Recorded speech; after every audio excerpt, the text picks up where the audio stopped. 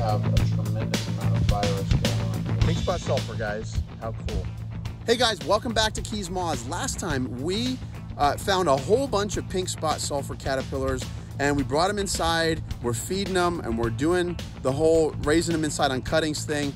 But in this episode, you're gonna see what happens when you overcrowd your containers. So uh, unfortunately, this is something that happens with certain species are more delicate. We do have some success, but we got a lot of great information for you. So guys, stay tuned. Don't forget to go to keysmoths.com to get all kinds of info about butterflies and moths of South Florida and the Florida Keys. Uh, please subscribe to the channel. Uh, we got plenty of videos coming your way and give us a thumbs up if you find this content interesting, funny, uh, uh, useful, whatever. So.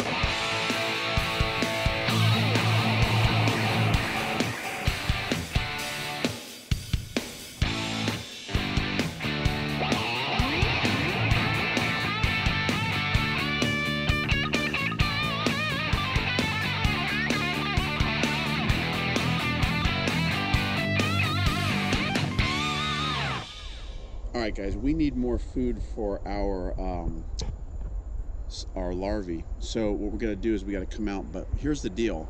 The caterpillars that are on this tree are actually doing a good number on all the new growth. So there's really not a whole lot left. But I also, guys, wanna show you something as I'm picking food at night, so it's, it is night outside, I got a little flashlight on my head, but I'm, I also have one of these little UV flashlights and this is pretty cool because I'm going to turn my headlamp off. And I want to show you guys something. How you can search for caterpillars with UV lights. Check out how caterpillars light up iridescent colors. This guy's iridescent green when you put them under UV lights. And this, this tree is totally loaded with caterpillars. Watch this, guys. UV lights, these black lights, uh, flashlights, really light up these caterpillars like like iridescent green. Look at this. Look at this thing. Isn't that crazy? How they just light right up, man. Look at this. Iridescent green. Guys, there are caterpillars all over this tree. You can see them up there, anywhere you see that, that, that green thing light up, those are actually butterfly caterpillars, guys. Let's see how many of these things are there on this on this tree. Look at that. Iridescent green caterpillars. Amazing. Amazing, amazing. Look, there's another one. Look. Glowing caterpillars, guys. That's crazy. There's so many on this tree. I'm, I'm a little nervous because I think they've probably eaten all of the new growth off of this tree. There's a bunch of large caterpillars on here, guys. So I don't know how many of these things are actually going to make it through because there are so many on this tree and there is no new growth left. And guys, this growth right here I don't know if you can tell, but it's old and hard. They will not eat that stuff. They'll starve to death. So I don't know what these things are going to eat. But there are just literally caterpillars everywhere, all over this tree, guys. Okay, enough of the UV light. I'm actually going to turn my headlamp back on. And that's the real color of the caterpillars, guys. Um, notice the difference. Got normal light, UV light,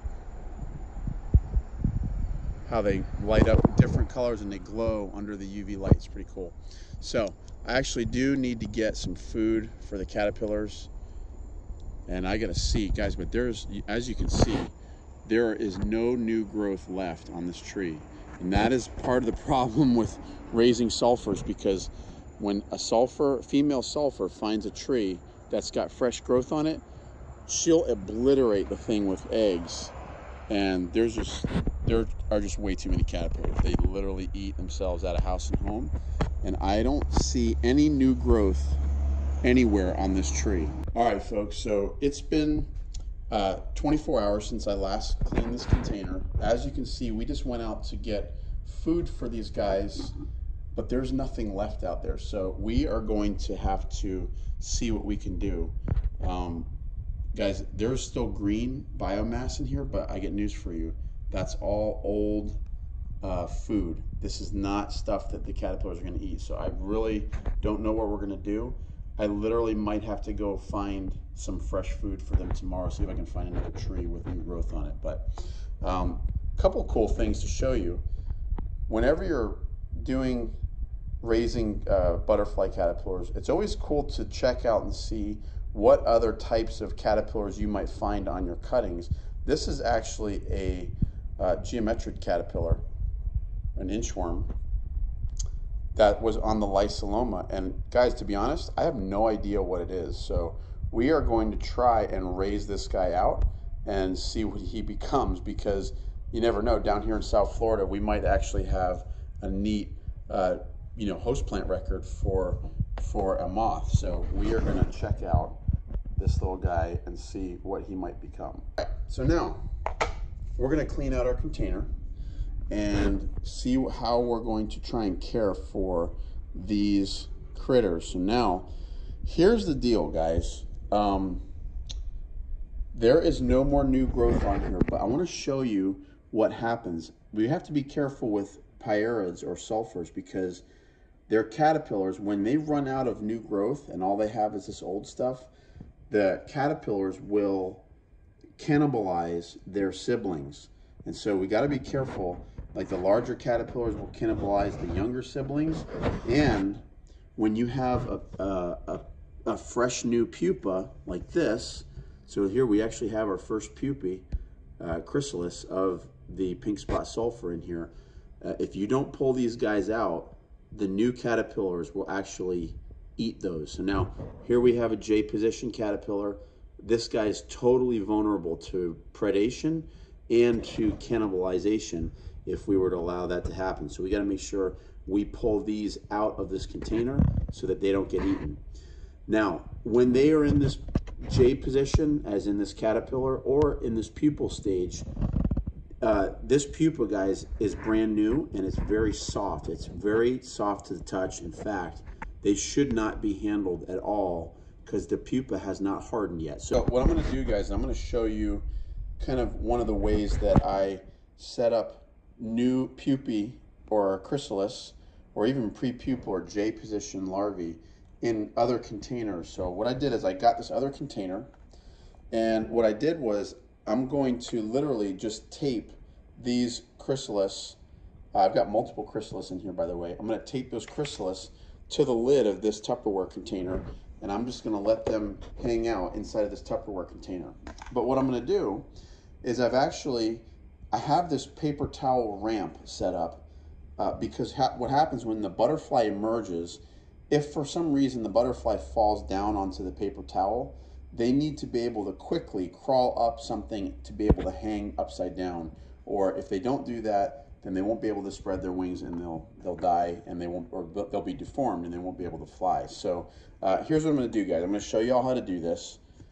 Very simple. I've got my my chrysalis here and I'm just going to cut it off. I'm going to tape this stem just like this onto the container like this so the chrysalis can hang upside down because you want them hanging upside down so when the butterfly emerges it'll be able to emerge properly so that's simple and I can probably tape you know a half a dozen or so in this container and be safe. So I'm going to do the same thing with this little pre-pupal or this uh, J position larva here. Same thing there, guys. You got to be super careful with J position caterpillars. If you, if you knock them off of their little uh, girdle or their silk pad, they're they're to struggle. They're to die. They won't be healthy. I'm to tape that guy into the lid of my container just like that. So now he can hang upside down comfortably in his J position and he'll be able to make his chrysalis just like that. But we still have a big mess to go through here because we've got pupa and other caterpillars. Guys, check this out. I want to show you guys something. Um, I probably had a little too much, too many caterpillars in this one container. And so I want to show you guys some of the things that happened.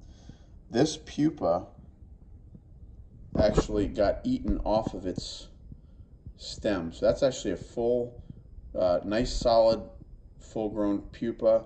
Um, it looks pretty healthy, but it did get chewed off of its, um, of, of this thing here. So, and actually there's a couple of them down here. So we're gonna pull this off.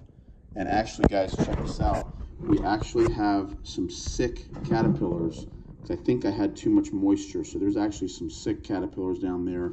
You can see this one over here in the corner. He looks virused.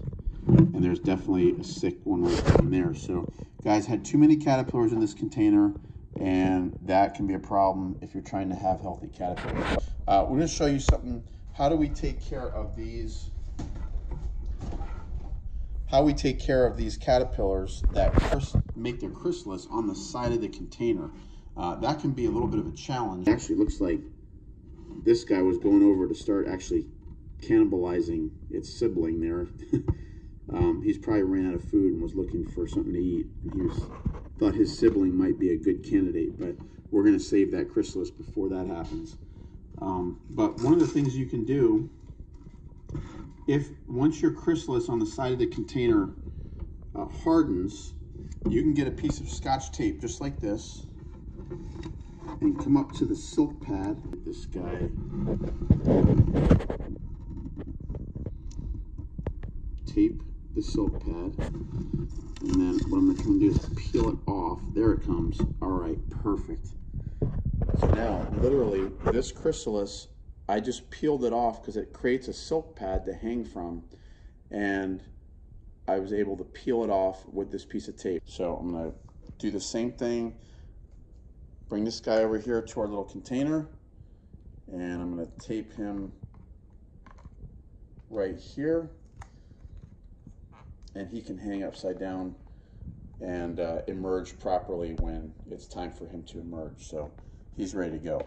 Now another thing that happens is down here on the on the bottom of this container you can see that I've got another J position caterpillar now, I've got a piece of this paper towel hanging there. Now this guy's already attached by his cremaster to the silk pad that's on this paper towel. So we don't want to mess with that, but what we can do, I can pinch off a corner of the paper towel. And now what I'm going to do, take a piece of tape and tape the paper towel piece like that so now, see what I got going here, guys. I got a piece of tape on the paper towel, the J position caterpillar, and now what I'm gonna do is I'm just gonna glue, I'm just gonna tape this J position caterpillar right onto the lid of my little container here. And it should be able to hang upside down, just like that, and be ready to make its chrysalis with its with his buddies here. Okay, folks, so here's the deal. We've got our plant here that's got no new growth on it, and we've probably got a half a dozen caterpillars left on here. Hopefully they make it until tomorrow. I'll try and bring them some new growth, but to be honest with you guys, a lot of times when they go this long without new growth, um, a lot of times they die. So that's part of the problem with raising large sulfurs is they are very sensitive. Uh, I do have some trees in my area that I can go and try and look for new growth, but my little tree in the front yard, as you can see, has nothing left. So I'm going to put them back in here, and I'm going to get my uh, put my lid on there.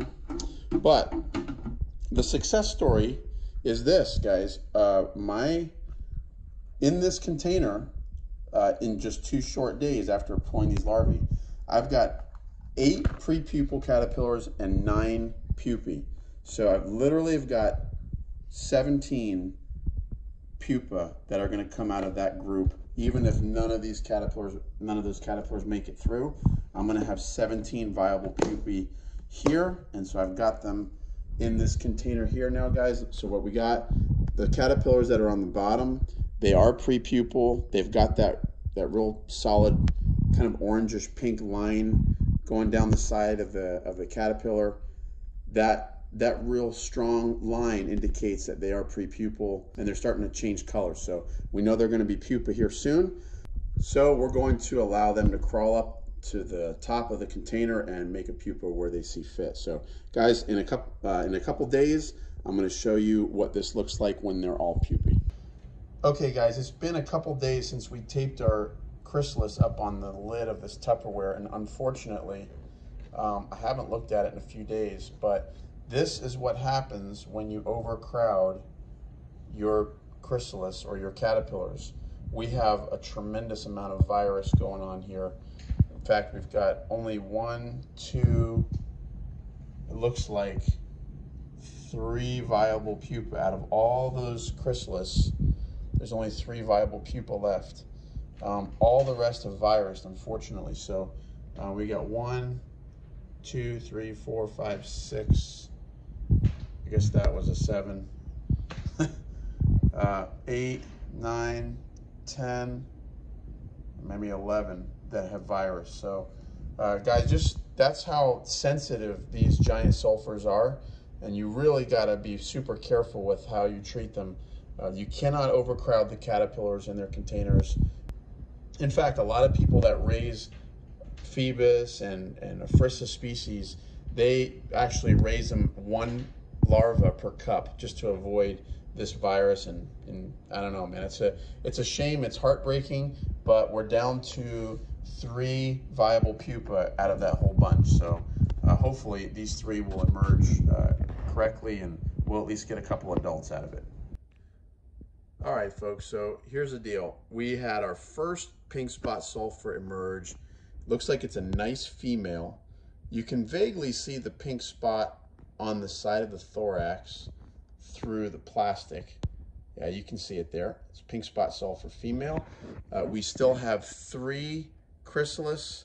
It looks like two of them are about to emerge. Look, she's getting ready to, to, uh, to fly here. So, you know, one of the things that you want to do when you're setting up your chrysalis you got to make sure that there's this ramp in case they fall down like this before their wings dry. They're able to crawl back up and uh, and hang properly. So our pink, pink spot sulfur is there. She looks like she's ready to fly. So guys, let's take her outside and let her go so she can fly.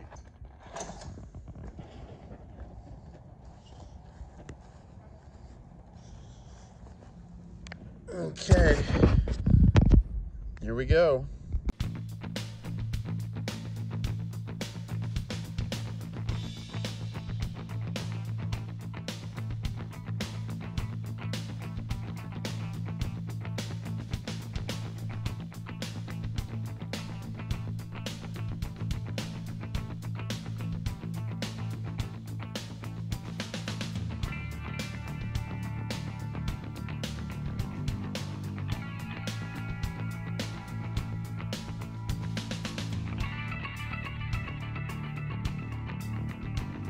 All right, guys, there is a pink spot sulfur, a male, freshly emerged male, and you can see the very bright pink spot right at the base of the thorax on the hind wing.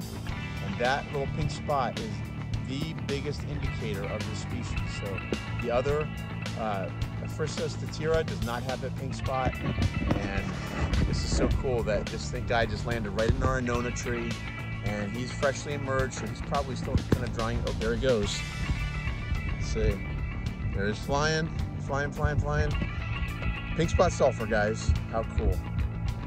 There he is. He just landed again. Neat. All right, folks. Hope you learned something there. Hope you liked the video. Uh, if you did like the video, give us a thumbs up. Don't forget to subscribe to the channel.